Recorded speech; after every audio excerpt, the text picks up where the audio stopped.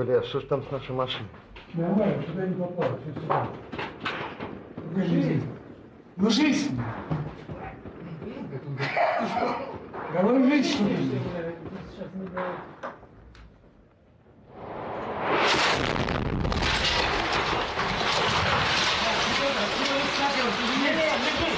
Что там, они уже пошел делать.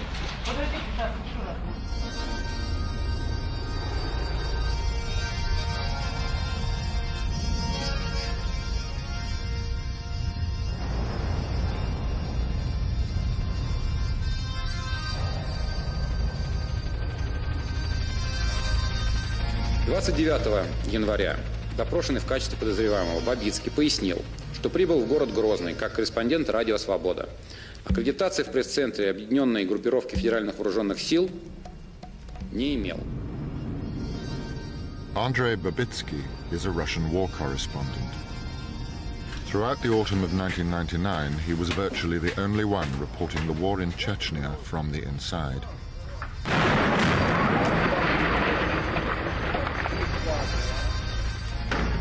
Babitsky was a man who broke the rules. В городе Грозном находился и работал в штабе полевого командира Хутаева в районе улицы 8 марта. Для работы в качестве корреспондента имел спутниковый телефон и цифровую видеокамеру марки Sony. А вот что. По городу его сопровождали и охраняли люди Хутаева.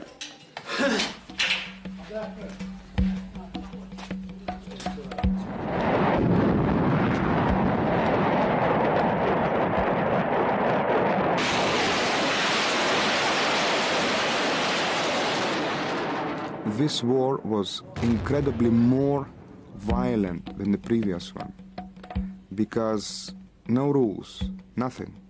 Uh, the troops were allowed to do whatever they wanted to. Andrei Babitsky wanted to show what was really happening there. He was correspondent for the American-backed Russian-language station Radio Liberty. He decided to be in Grozny, that is in a place that is being shelled, and not in a place from where the shells fly.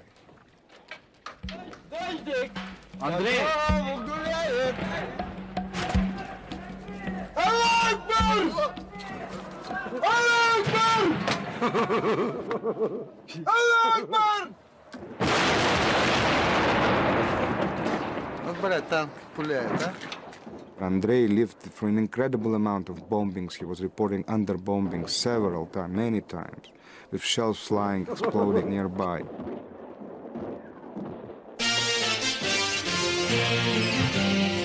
In late December, after three months at the front, Babitsky returned to Moscow. В эфире итоговый информационный час с Авиком Шустером. By then, his reporting for Radio Liberty was beginning to irritate the Russian government. По сообщениям российского военного командования, чеченские формирования готовят диверсионные акты, направленные на срыв выборов президента России. В связи с этим в Чечне предпринимаются дополнительные меры безопасности.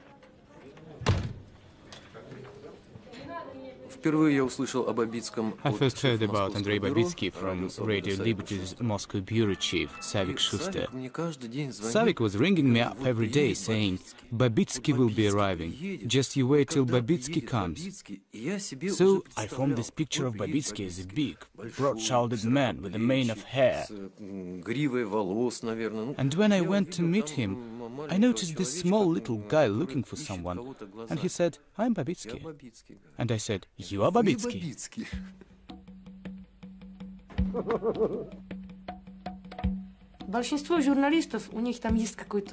Most journalists have a kind of reserve. They won't cross the threshold beyond which lies the abyss.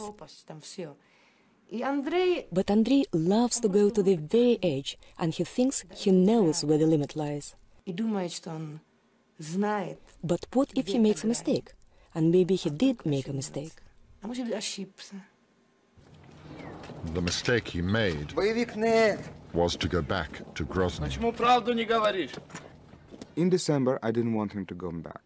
I, I, I didn't. I, I really, somewhere inside, I, I had some, I had fears. Uh, but from the way he talked to me, I understood I couldn't have stopped him.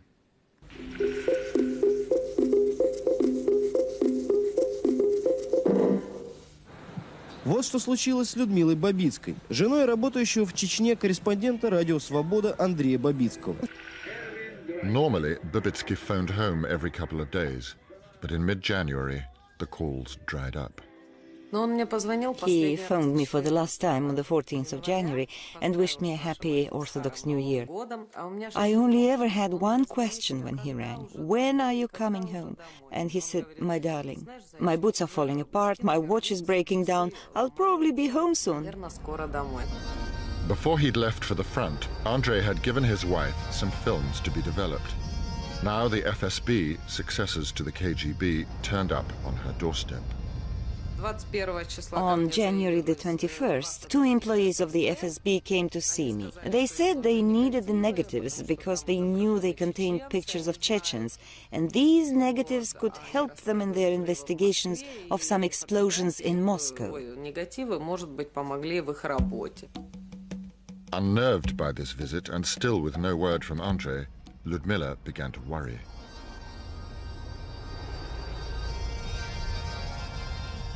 Babitsky was somewhere in the inhospitable mountains of the Caucasus. But was he alive or dead? And if he was alive, why was he not in contact? At first, his friends at Radio Liberty thought it was simply trouble with his satellite phone. Вот первые дни я For the first few days, I was sure that everything was fine. Maybe the battery in his phone was flat, or he'd lost it, but I was sure that he'd turn up. But after several days, I realized that something must have happened to him. Andrei wasn't the type not to make contact. Ten days had gone by, and it was only on the 25th that Radio Liberty started to say he was missing. Those first moments, I still remember them with horror. It's so awful when you're watching television and they announce that your husband is missing. It was unbearable. What Ludmilla didn't then know was that Andrei had fallen seriously foul of the Russian army. I've been working as a freelance photojournalist in Chechnya since 94. And on the 16th of January 2000, I was in Khankala, on the outskirts of Grozny, when I learned that a journalist had been arrested. A bit later, in conversation with the general, I found out that it was Andrei Babitsky, I knew his reporting, and I knew him to be a courageous man. The general started telling me that they found video and audio cassettes on him, as well as documents with the signatures of many Chechen field commanders. I tried to explain that this was perfectly natural for a journalist, but the general said that he was scum, that he should have been shot and not detained, and that they could have sorted it all out later.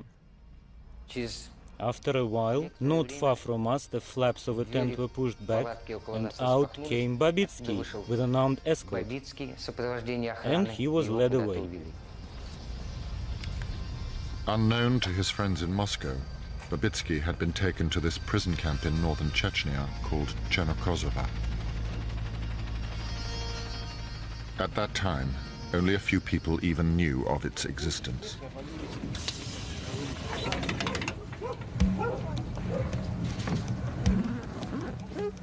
The Russian army called it a filtration camp.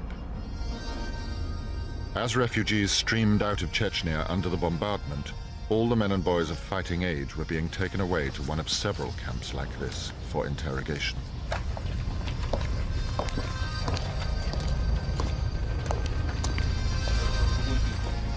Once inside, you effectively disappeared. Babitsky was taken to Chernokozova on January the 18th. A few miles away, the war that was defining his country's future was approaching its climax.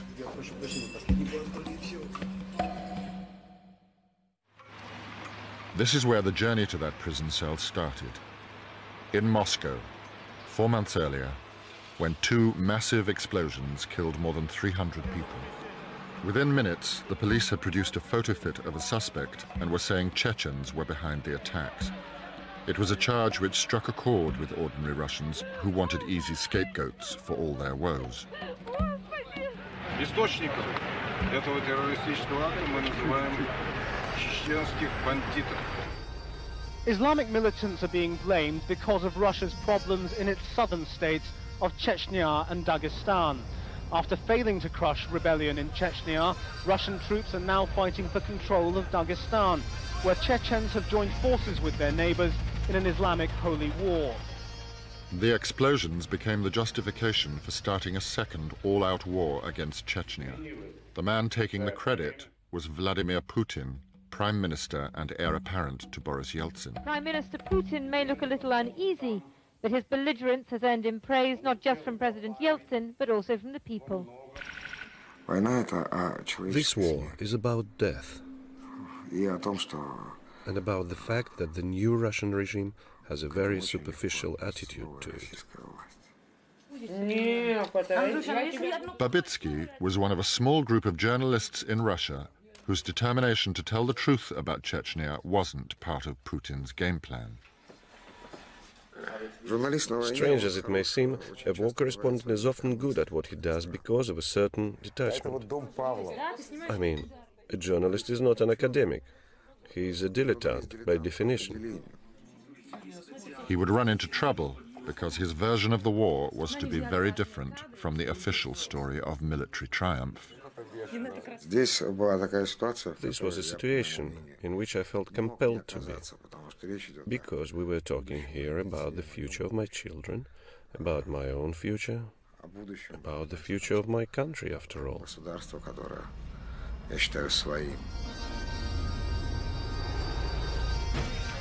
It was in late September that Babitsky first set off from Radio Liberty on assignment to Chechnya. Я лично с ним знаком. Он сюда приезжал. I knew him personally. He came here in September at the start of the military campaign in Chechnya. He said he was a journalist for a Moscow newspaper. But after I had worked with him for a while, he got out a video camera. Ему нужно. Он, например, достал видеокамеру. He said, is just for my own use. But in actual fact, it was a digital camera, and he was filming for television. So, right from the start, he was dishonest, and I really don't see how you can trust someone who looks you straight in the eye and deceives you.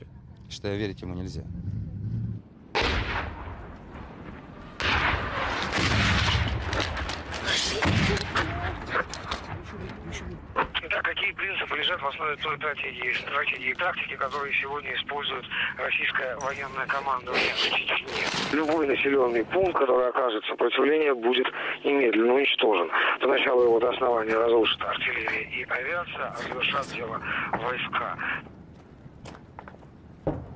It was always live. It was never taped.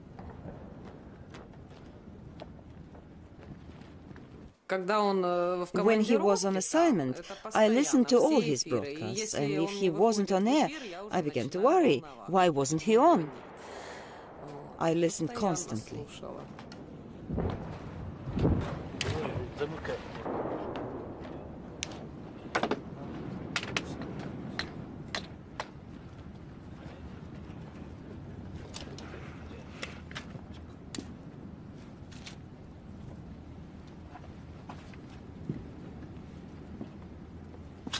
War is very biblical. You know, I think that in the war, uh, Andrei, for instance, started reading the Bible. I, I don't think it's a coincidence. I think that all the scenes of the Bible in a war, they, uh, you see them, you really see them, you imagine them better. They're in color. In a war, when there is danger, people somehow become more natural. Perhaps it is the weariness of civilization being stripped away. It is all so terrible, but also somehow very natural. It was quite difficult to understand what was going on in Chechnya, and it was rather dangerous to work there. Everyone was afraid of those people who had kidnapped journalists in the past. And so we took a long time weighing up all the various possibilities. But then, when it became clear that it was safe to go in, we went in.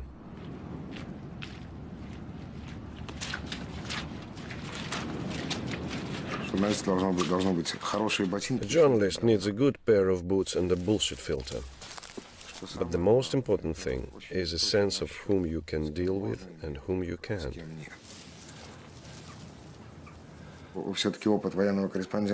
Anyway, I have some experience as a war correspondent, and I know how to hide from bombing.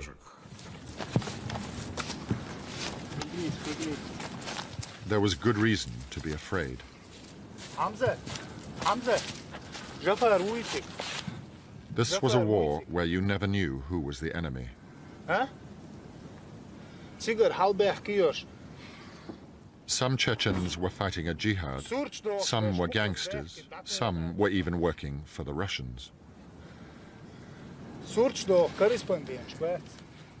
Journalists on the front line were liable to be killed by either side.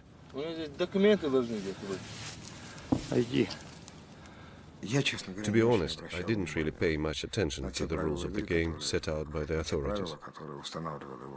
I have my own idea of how a journalist ought to behave, which I think is actually closer to Russian and international law.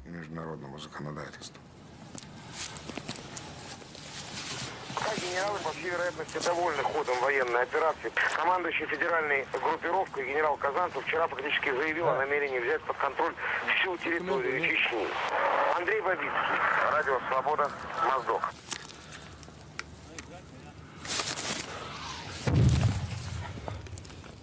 Это не русский. А кто? Я не знаю. Какой-то язык здесь непонятный. Я посмотрю. А, это это. Посмотри, Что, пошли обратно? Они ни с Москвы, ни с Подмосковья. С нее никто не спрашивает. Пропал без вести и все.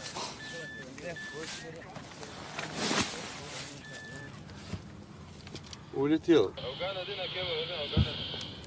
Жива, Рамза? Старик, да. Ты береги себя, мужик.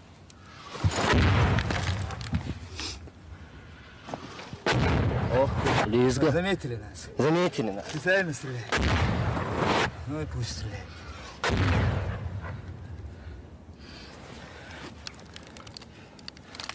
Давай, Андрей, давай. Давай, Андрей. That was Babitsky's style. By reporting up close from the Chechen side, he was challenging the official line that the trouble was caused simply by bandits and renegades. Worse still, his message was being broadcast daily to the Russian public. Защищает свою родину, свою независимость. Понимаешь? Вот вся суть дела.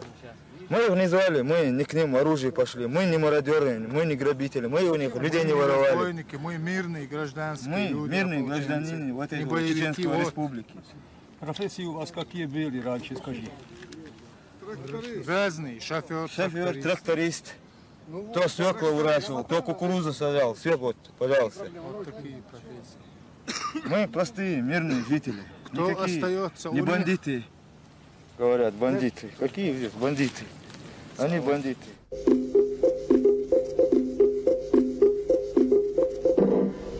Сегодняшка Людмила Бабицкая, как и тысячи других жен, ожидающих от своих мужей весточки с Чеченского фронта, так и не знает, жив ее муж или нет.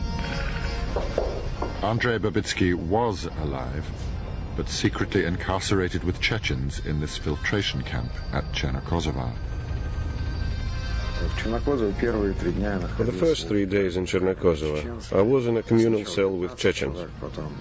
At first there were 15 of us, then two were taken away to other cells. To begin with, people were being beaten and tortured night and day. I wasn't subject to this torment because they knew I was a journalist, and so I was given special treatment. The only thing was when you went from your cell to the investigator's room, then you had to pass through an improvised line of guards. and they would hit you with a rubber truncheon. The pain would last about 48 hours.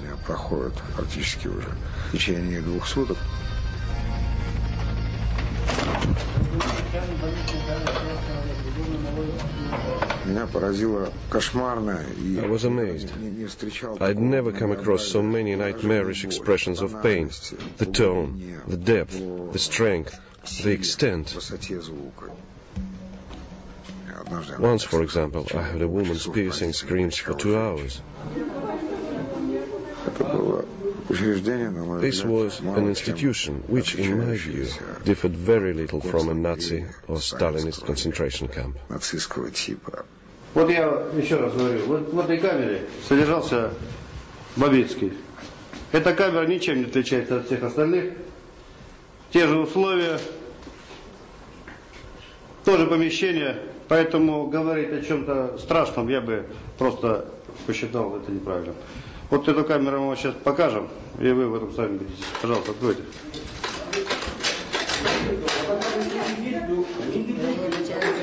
Четыре человека, трое. Был на больнице. Это будете вы, несовершеннолетний.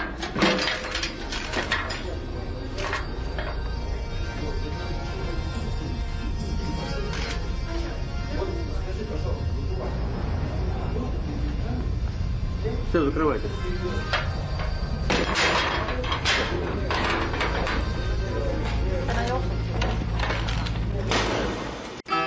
Я воин, не поэт,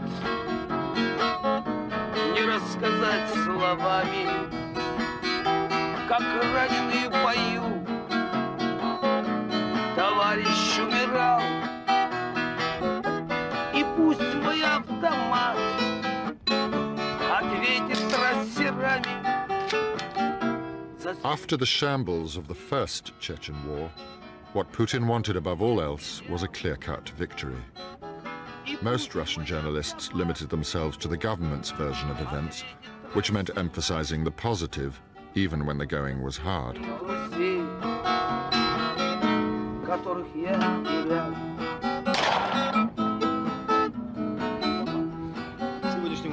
Было приурочено специальное совещание на эту тему.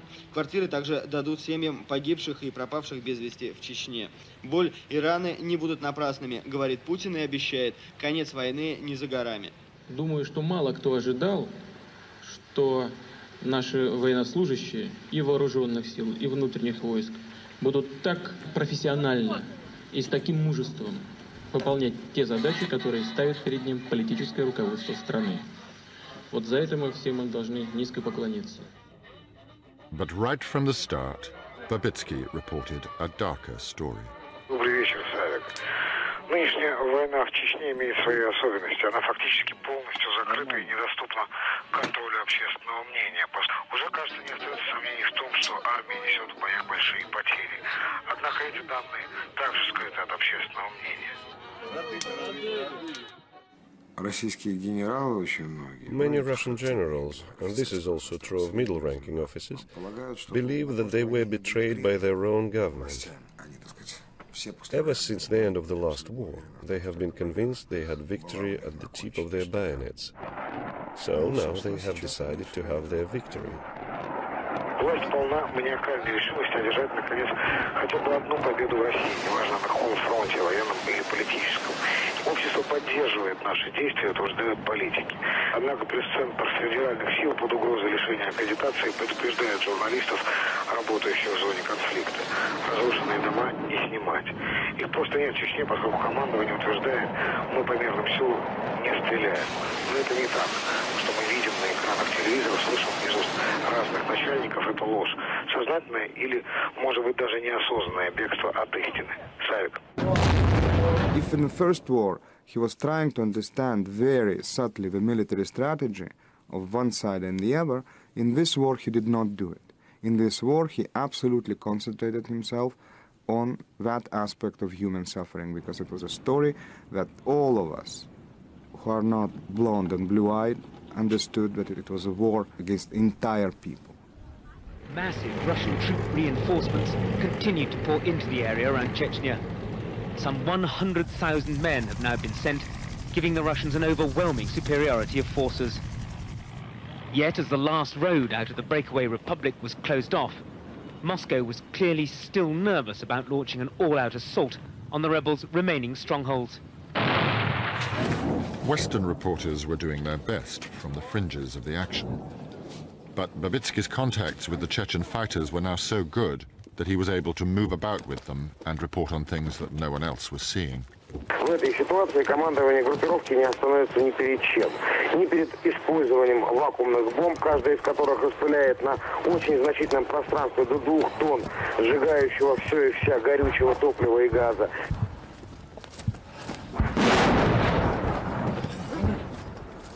A critical turning point in Babitsky's attitude to the war came in October. In the first short bombing attack, when it became clear that Chechen villages were being destroyed at random and that civilians were dying, I made up my mind almost at once that the military actions of the political leaders and the nature of this war were criminal.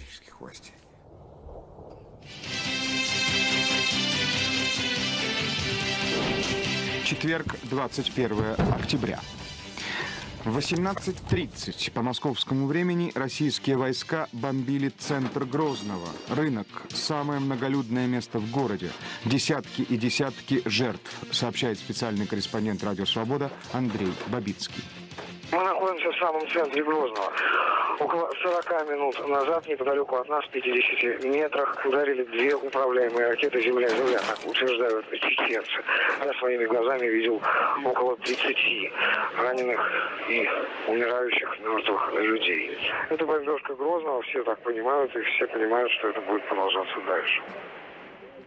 400 лет. Вот, вот наш Северный Кавказ нас оскорбляет, что мы бандиты, поэтому они хотят нас уничтожать и это забрать от Северный Кавказ. Но это им не получится.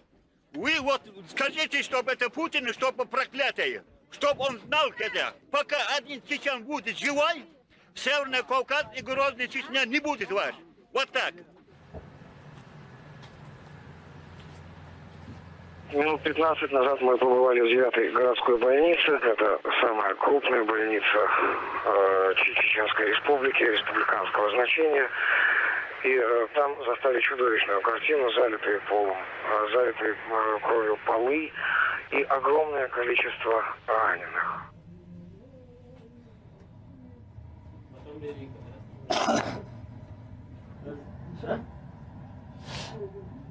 Политика Российской империи продолжается. Ведь э, каннибалисты. Продолжается уничтожение. Люди покидают Грозный не только из-за страха перед бомбами, просто город лишился всей системы водообеспечения из-за отсутствия электричества. Из многих многоэтажек жители уезжают либо в деревни, либо становятся беженцами на территории соседней Ингушетии. The bombing of the central market put the bulk of Grozny's population to flight. The queues to leave stretched for miles as the Russian army squeezed everyone through bottlenecks to weed out men of fighting age.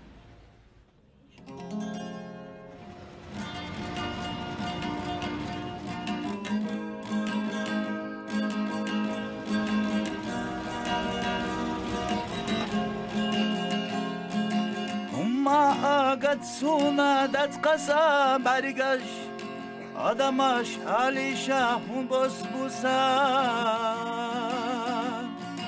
ценачу аматах шухтера буте я мостах шухтера ёх югеса Вы знаете, мне э, кажется, что любая идея, которая приходит в голову российским политикам, может быть реализована. Вот фактически сейчас на территории Ингушетии создана резервация, которая э, находятся чеченцы, и мне кажется, поверили в то, что они аборигены, местные индейцы при владычестве Кортеса, и что право на голос потеряли окончательно. ما شربوا دنيا أحمر زونا قاچا muceriu torna hatui сущери. Российские власти решили не пускать э, беженцев в Россию, опасаясь того, что среди них могут находиться э, террористы, которые под видом беженцев будут э, значит, устраивать теракты в российских городах. Но, к сожалению, это не совсем так. Мы видели, что за большие взятки легко проезжают чеченцы туда, куда они хотят.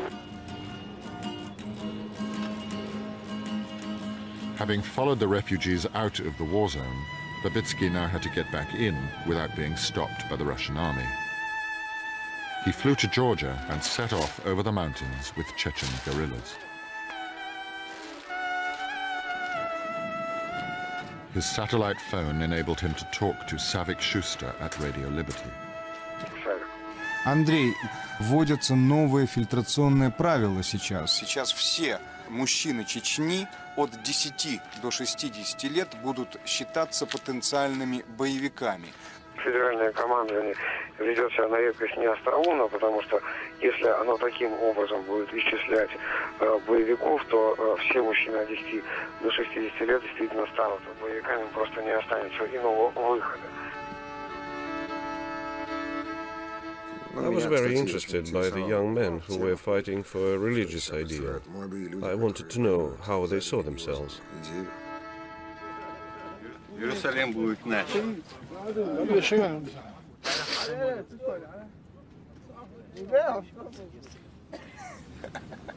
Все думают, что мы за доллар воюем. Это брехня. Ну, воевать вместе со своими братьями. Ну, что мне еще делать? Всевышний с нами. Это самое сильное оружие. И дух у нас сильный.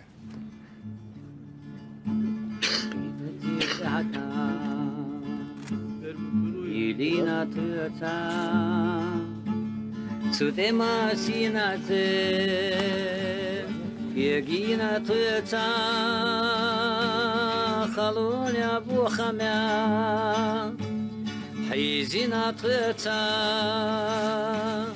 Hizina tăța Hamsara yutakhoi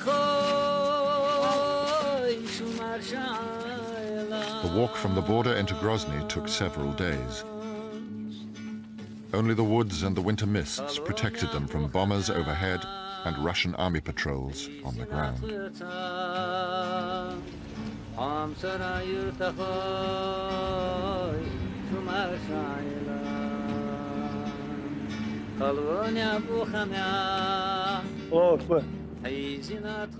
By now, the Russian army was only five miles from the city center.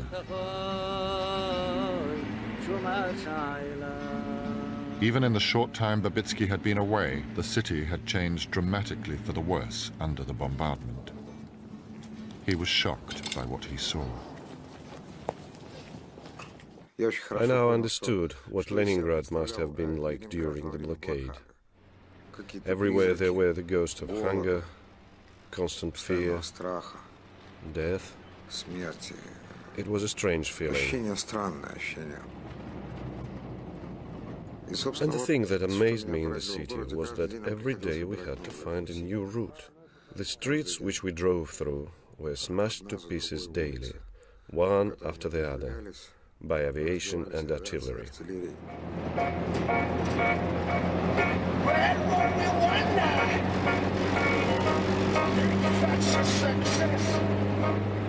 Окончательная цель – уничтожение терроризма в принципе на территории Чеченской Республики. Ну что ж, это потребует, конечно, от нас определенных усилий, материальных ресурсов, затрат. Наверное, это сопряжено и с жертвами. Но если мы сегодня на это не пойдем, завтра жертвы будут многократно увеличены. Merry Christmas, you This regime is completely uncompromising in this respect. It lacks any sense that violence is not acceptable, that human life is sacrosanct, or that human liberty is something essential, an inalienable freedom. Boris Yeltsin said that there were only fighters and prostitutes left in Grozny. I remember feeling very insulted by this. So I wanted to film absolutely everyone there to get across how people were living and spending their time. The Russians were telling the world the city was empty. It wasn't true.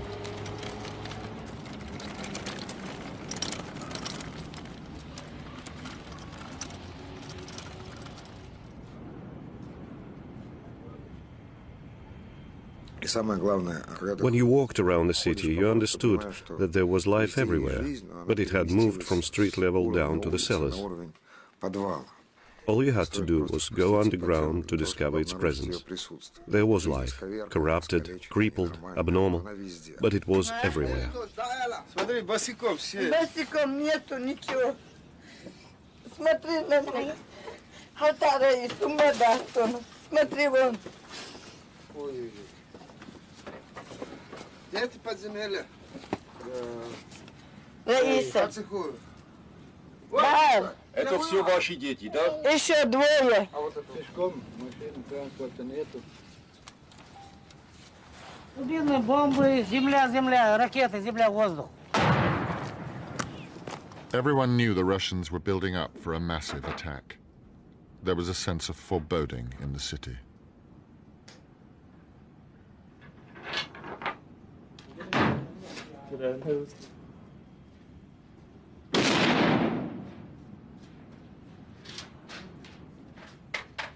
обстреливает федеральная авиация и артиллерия.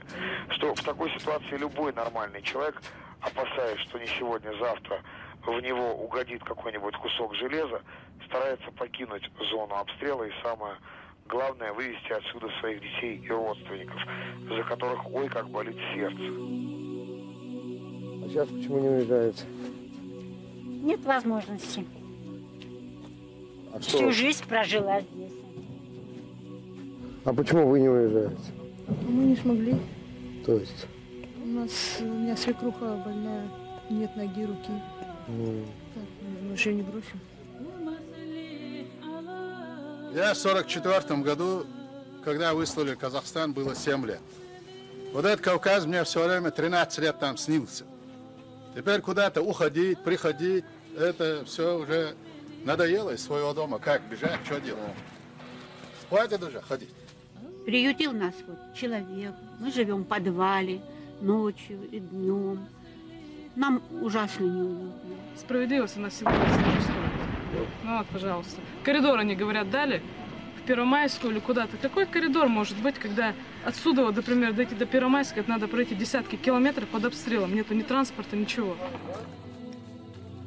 Вся атмосфера отчаяния и страха здесь никто среди мирных жителей не ожидает пощады с российской стороны этому городу. Это э, проклятый город. Я думаю, э, так считают люди, которые здесь живут или жили, Савик.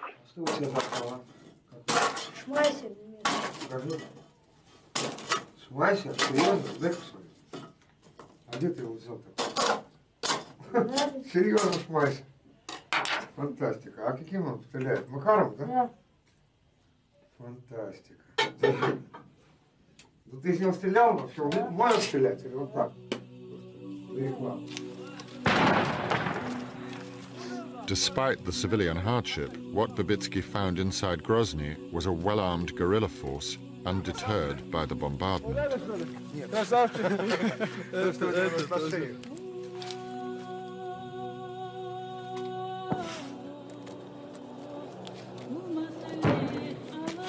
Ну что, победим? Как сегодня мы никогда не были так близки к свободе. Мы сегодня этой войной получили то, что потеряли в 96 году. Far from rolling all before them, the Russian army was making slow progress. Сколько, как ты думаешь, оборона Грозного продлится? Сколько? Сколько мы захотим? А сколько вы захотите? Столько, сколько будет возможность. Чеченские отряды фактически не имеют единого командования, и каждый действует в силу собственного разумения ситуации, собственной свирепости, собственной дикости. To keep public opinion on side, Putin wanted a clean victory with few Russians killed. That wasn't what Babitsky saw.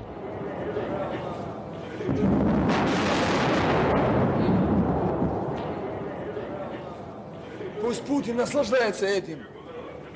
Вот Чечня, вот Грозный, то, что он показывал на весь мир, большой политик, показывал чеченцам, вот теперь ему, вот они, вот. Акалилов Андрей Андреевич. Как тебя зовут? Сергей. Сколько лет? Его жена. А вот это он сам. Я попал год назад по срочной службе. Служил почти же год. Наш полк сюда поставили. Блин. Мы начали брать сопку, выехали на сопку, остановились. Потом дали команду 400 метров вперед. Я тронулся. Начали пулеметные выстрелы, автоматные. Я остановился, начал открывать люк. Здесь удары гранатометом. 15-летний. Ты посмотри на себя. Посмотри на, посмотрите на бойцов чеченского сопротивления. Пожалуйста, посмотрите на них. Посмотрите на них. Езжай домой к Путину, передай ему. Обменяем или э, отдадим тебя. Ты посмотри, кому ты нужен. И пусть Путин делает вывод из этого. И пусть тот фиг, который он показал, пусть ему Россия покажет вот это вот, то, что он показал чеченскому народу. Пусть он показывает вот это русскому народу. Вот. Давай, слушай, на время снимем это дело. Хорошо. А потом будем, Хорошо. когда, да? He's saying, can we stop for a while?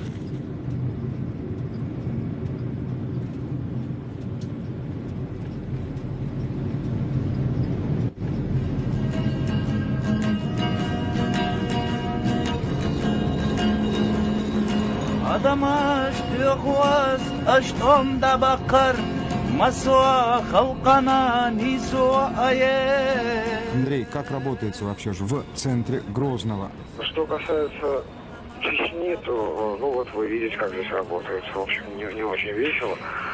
Я э, думаю, Савик, что э, эта ситуация говорит о э, надвигающейся э, ката- катастрофе э, чудовищных масштабов. Нашему корреспонденту Андрею Бабицкому очень трудно выйти в эфир. Вокруг Грозного...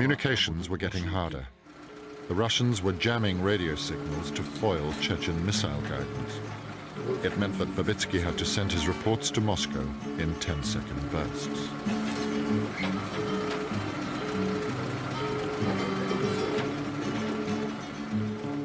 Кусочки собираем, собираем, собираем, и в конце концов у нас получается что-то вроде репортажа. Достоверных сведений из Грозного сегодня нет. Ситуацию дают сами вооруженные чеченцы. Э, Они говорят, в Грозном остается до 15 тысяч мирных жителей. Много русских. Кто хотел бы выйти, ограниченных в передвижении. Обстрелами земли и воздуха. По беженцам стреляют снайперы.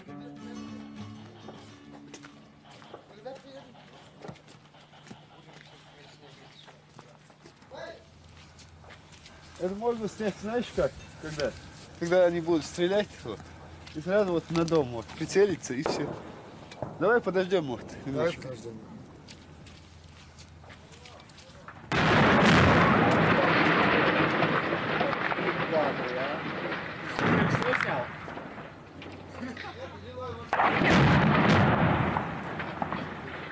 At this stage, Babitsky wasn't the only journalist in town. He'd been joined by Yuri Bagrov, a Georgian on his first assignment to the front. I was amazed by the fact that when we arrived in Grozny, absolutely everyone knew Andrei.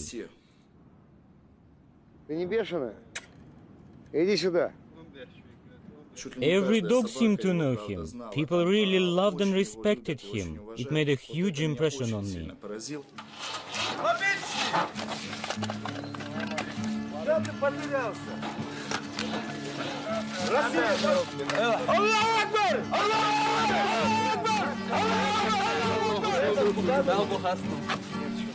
The people left in the city were getting ready for hand-to-hand fighting, digging trenches in the streets to ambush any Russian advance.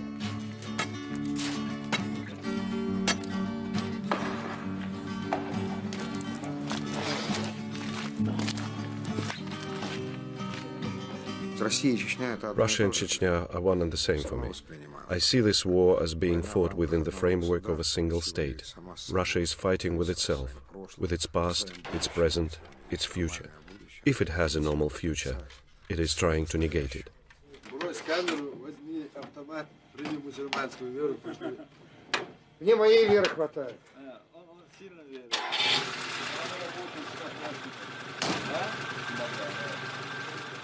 Despite everything he'd witnessed, Babitsky, like all Russians, remained skeptical about the Chechens' claim for independence. As far as the independence of Chechnya is concerned, it's a senseless waste of time. And the majority of the Chechen population now sees this independence as an abstraction. And a rather dangerous abstraction at that. Babitsky's quarrel with the Russian government was over how they were treating the people. Если можно, я скажу пару слов о Грозном. У меня э, появляется ощущение сейчас на этой войне, что здесь оживают библейские сюжеты, сюжеты э, каких-то древних эпосов.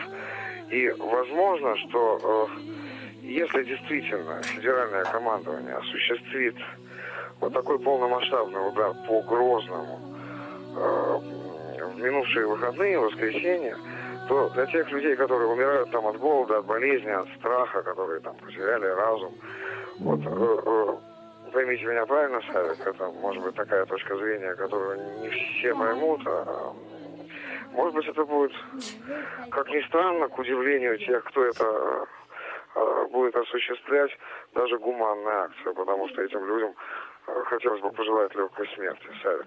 Это мальчик или девочка? Мальчик. Ирик, давай.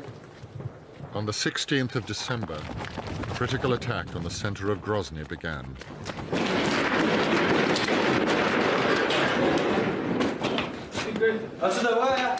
Babitsky kept filming, capturing an extraordinary record of what it was like to be in the city that day.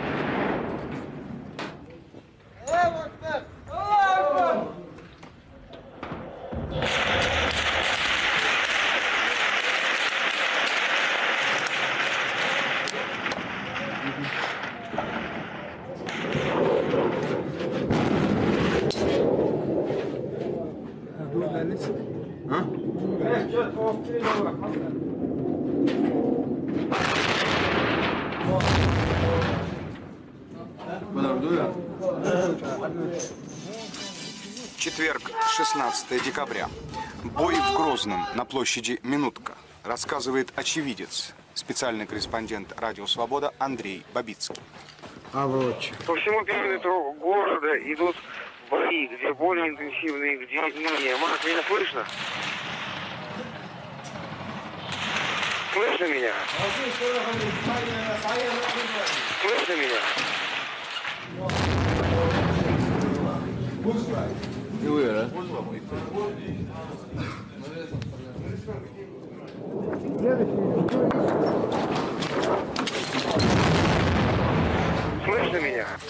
По заявлениям чеченцев, всего за прошедшую ночь погибло свыше 100 российских военнослужащих. Я видел своими глазами около 80.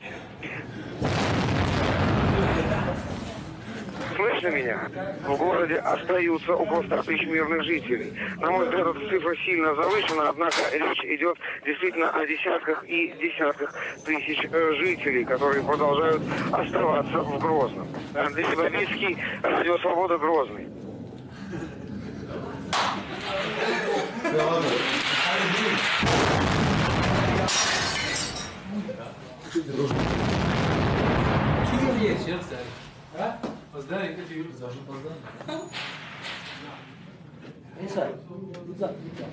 Там очень много как бы э, There were many moments of fear. моментов, связанных со And it страхом. wasn't even the fear of losing one's life.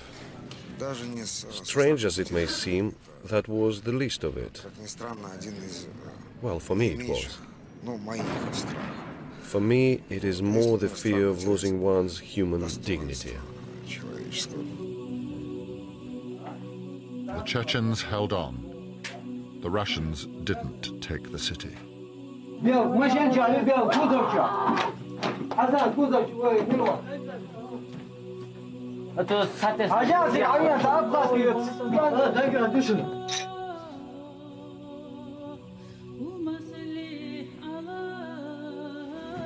After the battle, Babitsky returned to Moscow with his video, an incontrovertible record of what had been going on.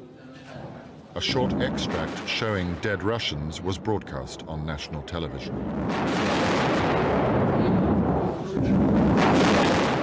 Overnight, it turned him into a figure of hate with the authorities. At the end of December, Babitsky arrived back in Grozny for the last time. He was now the only journalist in the city последние два дня Грозный подвергается интенсивному, хаотичному, но почти бессмысленному, по словам чеченцев, обстрелу. Если Cut off in mid sentence, Andrei did not make contact again. Attempting to leave the city disguised as a refugee, he was arrested. Nobody was to hear from him for another six weeks.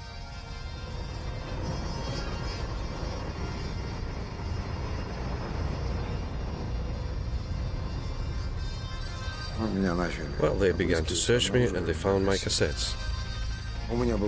They took everything, put a blindfold on me, tied my hands, threw me onto a troop carrier and took me to Khankala, where I was held by an army intelligence unit for 48 hours.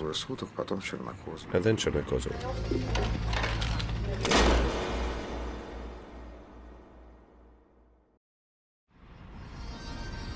Back in Moscow, there had been a change at the top.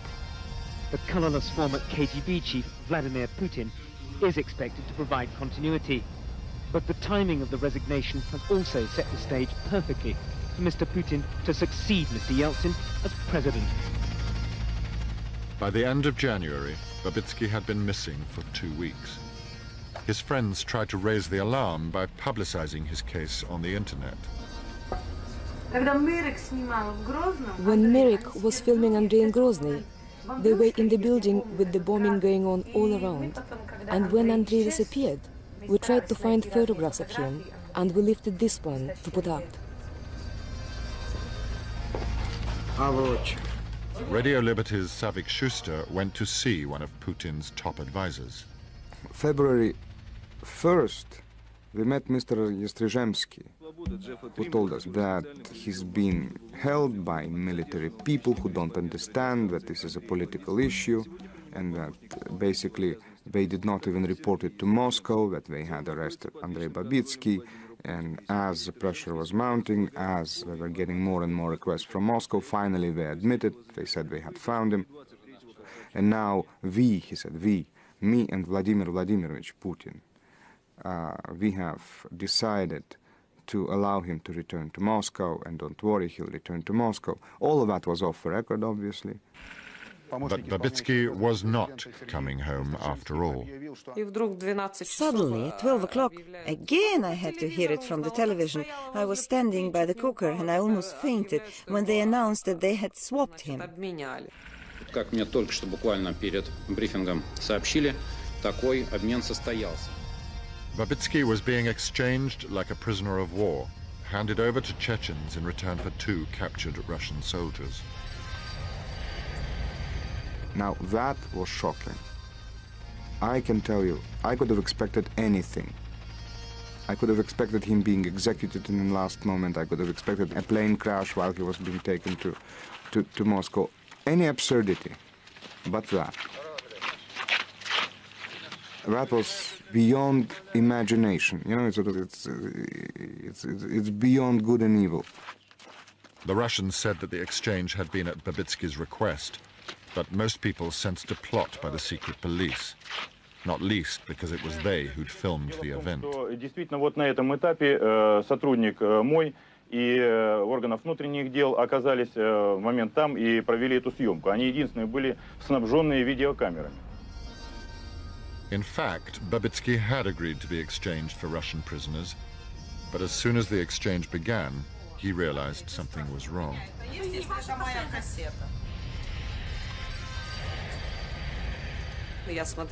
I watched those pictures, I don't know how many times. I taped every news bulletin. And Andrei himself, in front of the camera, looked like a completely broken man. He didn't understand what was happening around him. He'd been told he was being handed over to Chechens he knew, but it was a trap. Andrei's body language for us was very strange. Andrei knows the Chechens. He knows them very well. all of a sudden he drew his hand away.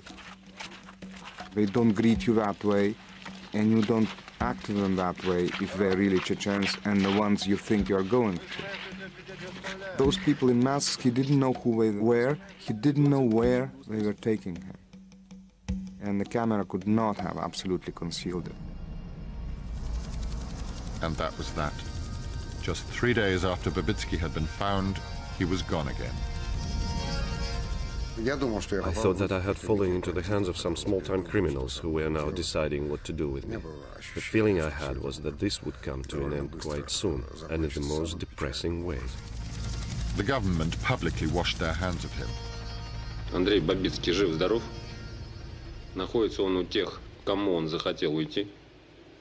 Значит, в отношении него была изменена мера пресечения.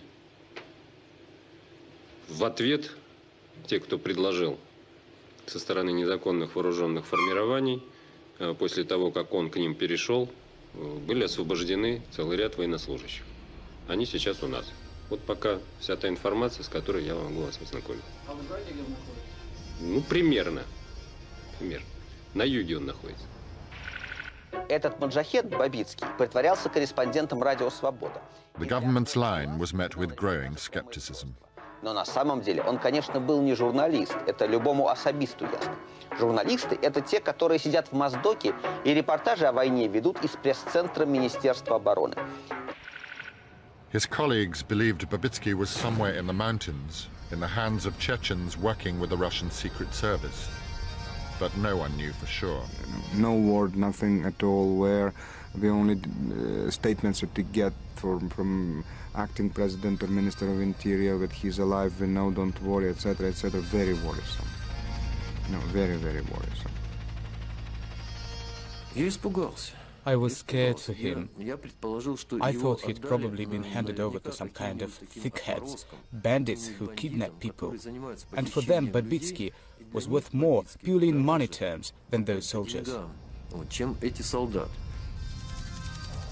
Yevtushenko and Petra Procházková, veterans of Chechnya reporting themselves, decided to go in to look for him. I decided that I'd find him, whatever state he was in, that I'd get him out of there, save him if need be.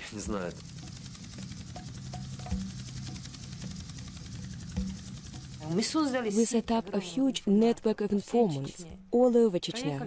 We covered the whole country, from north to south, east to west. In each village, we found someone we knew, gave them a bit of money, and got them to ask around, because Chechnya is one big village. Even so, we were once about three kilometers from the house where Andrei was being held, and didn't know it. His wife Ludmila appeared on television to keep his case in high profile. Then six days later, another unexpected development at the BBC's Moscow office. It was usual hard day's night, 9th of February, when someone knocked the BBC office door, and this someone was a guy who looked like from Northern Caucasus, and he offered to sell a tape for $500, which must prove by his words that Andrei Babitsky is alive and he is in the hands of uh, Chechen fighters. 6 февраля 2000 года. У меня все относительно в порядке. Единственная проблема – это время, поскольку обстоятельства складываются так, что, к сожалению, вот сразу я домой попасть не могу. That cassette, which was supposed to prove that I was alive and well, had precisely the opposite effect. When I saw him, oh God, he looked so utterly wretched. His face was so swollen, but then the cassette was terrible. I just prayed they weren't torturing him. That was the most important thing. By now, his disappearance had become an international incident, with Russian news bulletins only adding to Putin's embarrassment. The State Department in Washington were demanding an official explanation of Babitsky's disappearance.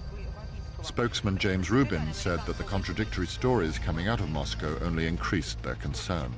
The Russian news also reported that Secretary of State Albright had complained directly to the Kremlin about Babitsky's treatment. Isolated and completely unaware of the furore, Babitsky tried to ingratiate himself with his captors. When I talked to them, I was always saying, oh, to hell with journalism. I'll never behave like that again. So they heard my spine snap. I pretended to be a broken man, which wasn't all that difficult because I was in constant fear for my life. At a time when Putin was trying to persuade the West that he was a modern leader with his KGB past well behind him, there's one stubborn reporter somewhere in the mountains was interfering with his plan. On orders from Moscow, the FSB had him dumped over the border into Azerbaijan with a forged passport. But the Azerbaijani border guard, not in on the plot, turned him away. It didn't work out very well for them, because at the last minute I managed to persuade my escort that I had no business in Azerbaijan, so he took me to Makhachkala instead. On the morning of February the 24th, the telephone rang in my flat in Vladikavkaz. I picked up the receiver and heard Babitsky's voice. I was stunned. I could hardly get any words out and just managed to say, Andrei. And Andrei told me using a coded language that only we understood that he was in Makhachkala and would be waiting for me there that evening. In fact, it was four days before Babitsky made it back to Moscow and even then he was scarcely free. They charged him with possession of the forged passport they themselves had given him.